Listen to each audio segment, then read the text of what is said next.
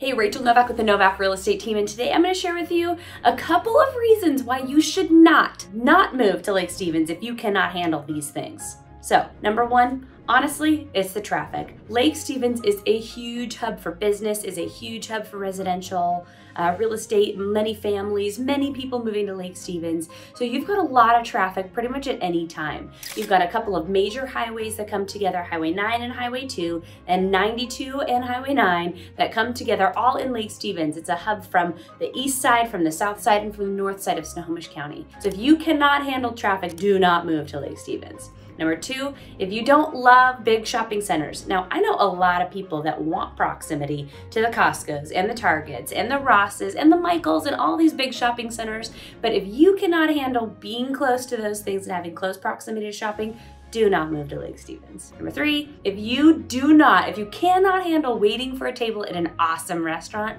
don't move to Lake Stevens. Lake Stevens is chock full of awesome restaurants like LJ's Bistro, Bruno's Pizza and Bar, The Ram. There's so many great restaurants in Lake Stevens, but on most nights, Thursday, Friday, Saturday nights, you're probably gonna have to wait for a table. Number four, the excellent schools. If you cannot handle excellent schools, then do not move to Lake Stevens. You guys, they just built in the last five years one of the most beautiful elementary schools that I have ever seen.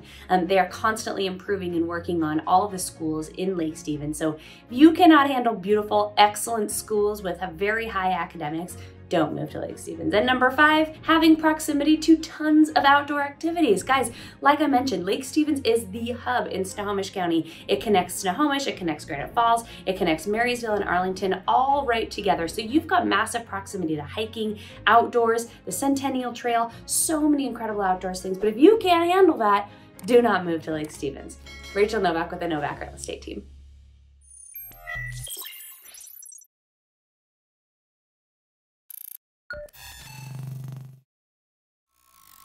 You